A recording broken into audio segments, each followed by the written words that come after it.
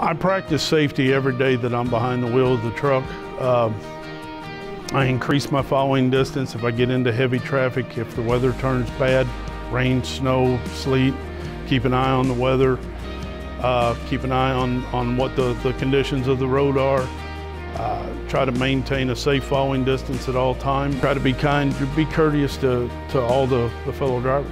One of my mantras I've always lived by is safety is not an accident. Um, nobody gets in their car or truck or driving out on the road and says, hey, I'm going to be dangerous today. Eh, you know, everybody wants to get where they're going safe. So I always say, well, safety is not an accident. Um, accidents do happen.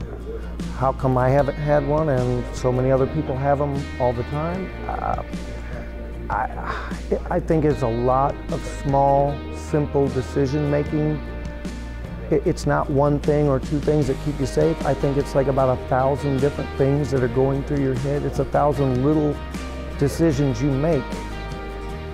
I, I think one of the things that, that keeps me sharp as a driver is going to the local TDC that we have up at Kalahari and being able to go to the Walmart or going to the, any of the nationals, the ATA nationals or the Walmart nationals. I think it keeps you sharp on the Facts for Drivers book, a pre-trip, as well as your driving skills.